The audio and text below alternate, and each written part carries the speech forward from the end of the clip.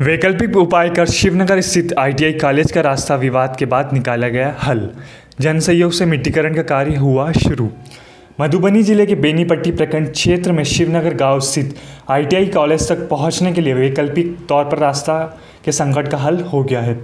स्थानीय लोगों के जन सहयोग से फ़िलहाल वैकल्पिक रास्ते पर मिट्टीकरण कराने का कार्य शुरू कर दिया गया है।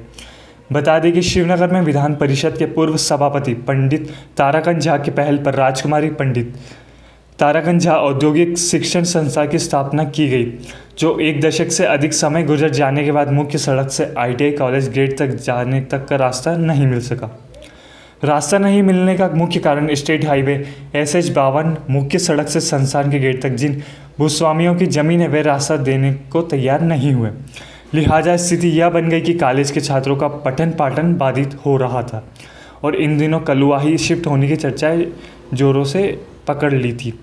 आपको बताते चले कि वर्ष 2011 में सूबे के तत्कालीन मुख्यमंत्री नीतीश कुमार ने इस आईटीआई कॉलेज भवन की आधारशिला रखी थी और तकरीबन साढ़े छः करोड़ की लागत से कमरा कार्यालय, लैब, प्रचारी कक्ष, स्टाफ रूम, छात्रावास, शौचालय, खेल ग्राउंड, स्टोर रूम सभा कक्ष रसोई घर चापाकल, नल प्रशिक्षण कक्ष, मनोरंजन कक्ष और चार दीवारी का निर्माण कार्य शुरू कराया गया।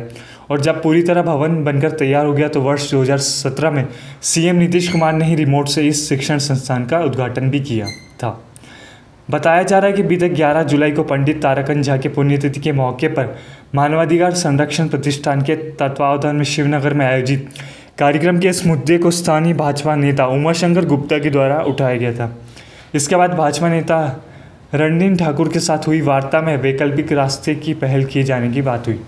इसके बाद श्री गुप्ता के साथ स्थानीय निवासी संतोष कुमार झा सहित अन्य लोगों ने सामूहिक सामूहिक पहल की और वैकल्पिक रास्ते में आने वाले भूस्वामी से वार्ता की।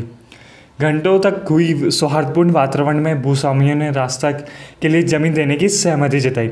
इसके बाद स्थानीय लोगों के सहयोग से मिट्टीकरण का कार्य शुरू करा दिया गया जिन भूस्वामियों ने ज़मीन देना स्वीकार किया, उनमें अयोध्यानाथ झा देव सकल यादव जय नारायण यादव राम हृदय यादव, सुरेश यादव और मोकिम दर्जी समेत अन्य लोग भी शामिल हैं।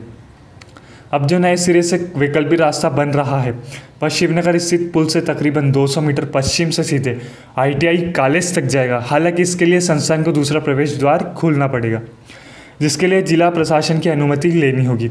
सूत्रों की माने तो जल्दी सामाजिक कार्यकर्ताओं को शिष्टमंडल डीएम से मिलकर ज़मीन का राज्यपाल के नाम से रजिस्ट्रेशन कराने और दूसरा प्रवेश द्वार खोलवाने को आग्रह करेगा।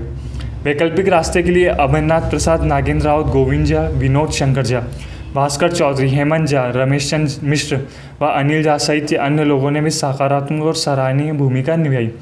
बीएनपी न्यूज़ के लिए संवाददाता राजीव कुमार झा की रिपोर्ट।